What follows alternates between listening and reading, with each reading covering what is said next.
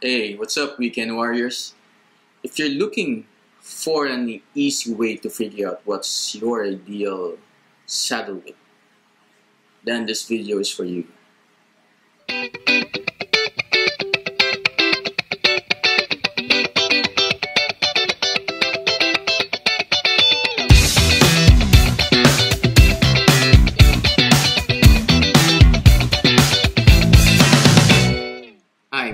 Vlad and welcome to the Weekend Warrior. Just a little overview um, about this video. Um, the reason kung bakit ako nag-search for that uh, ideal saddle width for me is because a few months back, there was this 7-Eleven race that was supposed to happen and then uh, there were several weekends before that where you can do your track read. Ano? So it was my first time to ride my bike for such a long a long period of time. Normally, I'll just spend about 20 minutes, 30 minutes, and then uh, rest, and then ride again. But this time, two hours, three hours on the saddle, and I started experiencing yung soreness sa groin area, as well as dun sa buttocks. Ano. So, which so this led me to to do some research, and I found out na dapat pala you you have to have the proper saddle width that matches the width of your sit bone. So now, how do we measure yung length ng sit bone? So I did some research, ang daming choices. You have one where you can get cardboard and, and sit on it until magmark and then you can measure point A to point B or you can put like a aluminum foil on top of a carpet sit down for 30 seconds and then yung depression ng sit bone mo you measure from point A to point B. Okay that's another one. And then I found an easier method which is actually measuring yung yung lapad ng wrist natin. So I found this yung website ng WTB and they have a a tool there where you can use just by measuring yung lapad ng wrist mo. And then from there if you enter the figures in their calculator and they will give you the suggested saddle width you know so uh, the, the tools that you will need for this one will be uh, you can either use a ruler okay? You can use a ruler and lie this flat on the table, put your wrist on top, like that, and then from point A to point B on the your wrist, you will measure. No, um, just take note for for males, ang measurement is from this sa taas nung buto. Okay, and the one touching here where it where it curves. No? And then for female, yung measurement nila is sa, sa mismong tapat ng buto. So, this will give you a wider measurement compared to the sa male. No? So, that's something you should take note when you measure. Okay. Now, to make the measurement easier, it I'll be using ano uh, a caliper. No? So, this will give a better uh, or a more accurate measurement ng wrist ko.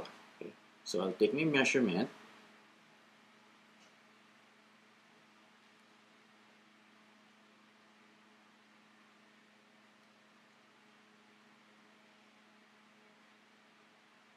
So the the website will require measurement in millimeters.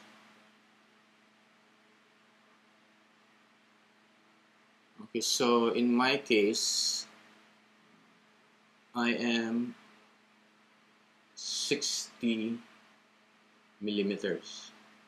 Okay.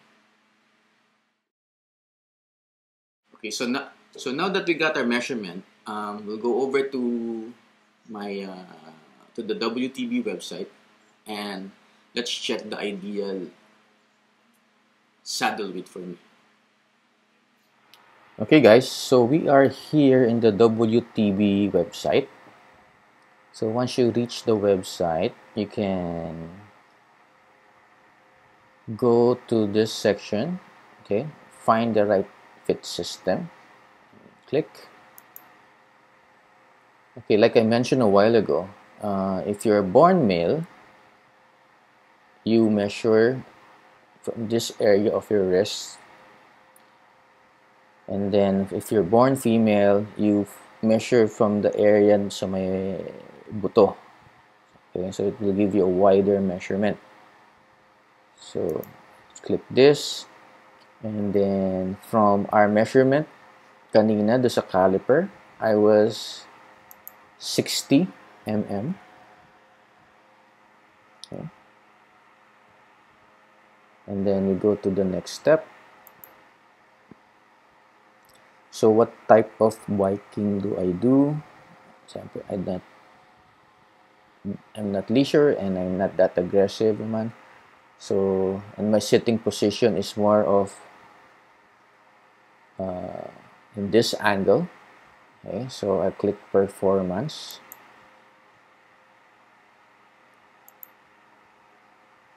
And my body type is an inverted triangle.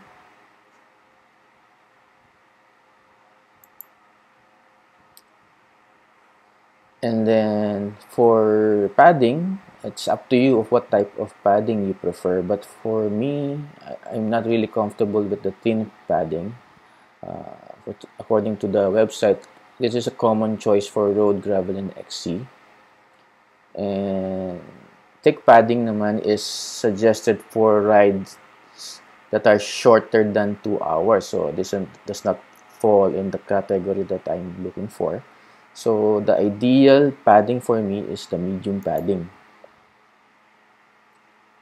So next step. Okay, so base from the measurement,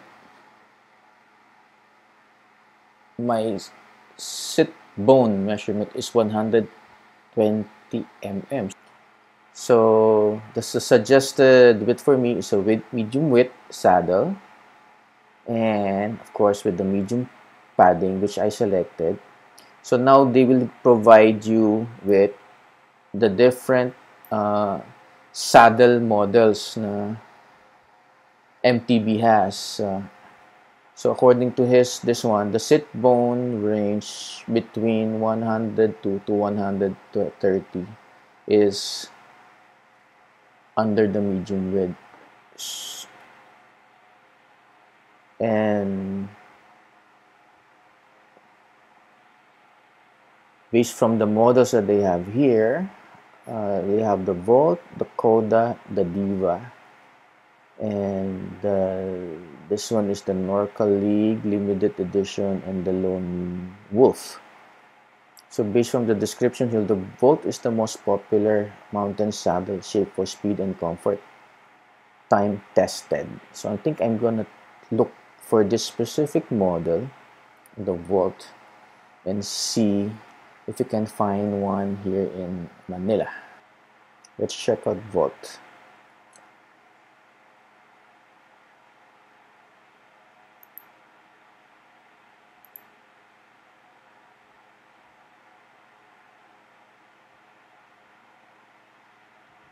So usage is for gravel, cross-country trail, enduro, bike packing, they are available in narrow, medium, and wide.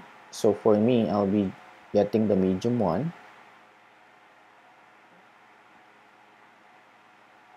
And based from the chart here,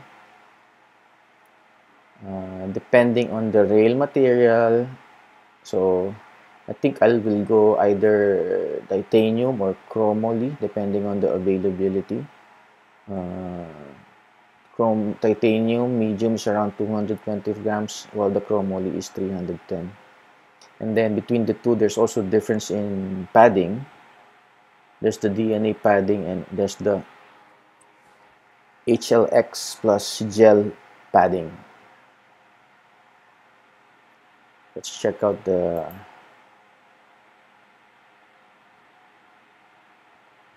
saddle technology what does DNA padding and HLX gel padding says for DNA padding provides a dense padding that dramatically reduces saddle weight and produces an ultimate level of support. And DNA padding holds its shape incredibly well. Okay. Uh, the HLS gel padding okay, has added comfort by strategically placing gel inserts in the areas where sit bones contact the saddle. So gel provides ano, additional support uh, which avoids uh, soft the pinching of your uh, soft tissue. So basically that's the difference with the description. Although I cannot compare yet because I haven't tried this. Anyway, we'll look for a saddle that's available and we'll base it from there. Okay, so based from the recommendations from the WTB website, I searched around the different bike shops here in Metro Manila and was able to find one specific to the recommendation of the website. So here I have WTB Volt in medium size uh, this model comes with the titanium rails and DNA padding. Now, based on the specs on the website, this is around 235 grams for those who are weight conscious, but for me, it's not really uh, it's not really important. More important with me is the the comfort that I will have during the ride, and hopefully this saddle will relieve me of the soreness that I was experiencing from the track read that I have.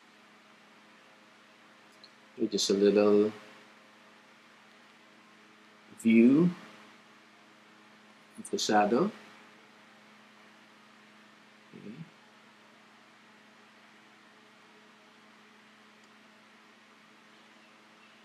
This one comes with a a channel in the middle which will help relieve also the the discomfort in the groin area.